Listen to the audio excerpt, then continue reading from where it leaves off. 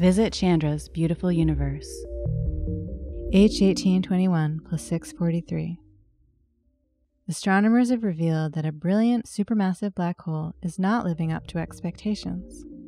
Although it is responsible for high levels of radiation and powerful jets, this giant black hole is not as influential as many of its counterparts in other galaxies. A new study using NASA's Chandra X ray Observatory looked at the closest quasar to Earth that is in a cluster of galaxies. Quasars are a rare and extreme class of supermassive black holes that are furiously pulling material inwards, producing intense radiation and sometimes powerful jets.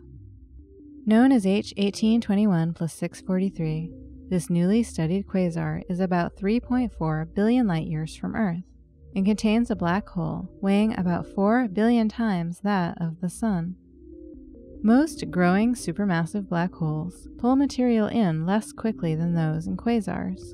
Astronomers have studied the impact of these more common black holes by observing ones in the centers of galaxy clusters.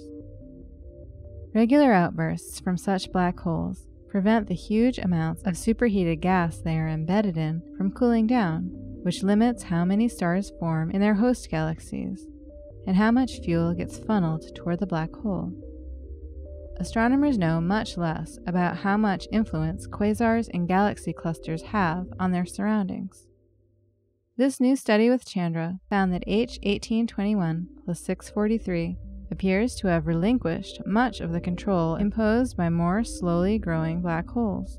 In other words, the black hole's appetite is not matched by its influence. The giant black hole is generating a lot less heat than most of the others in the centers of galaxy clusters.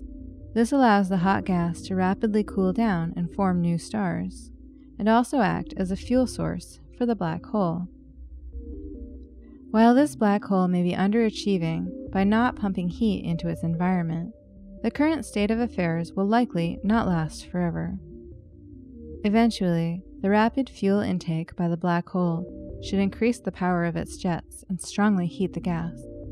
The growth of the black hole in its galaxy should then drastically slow down.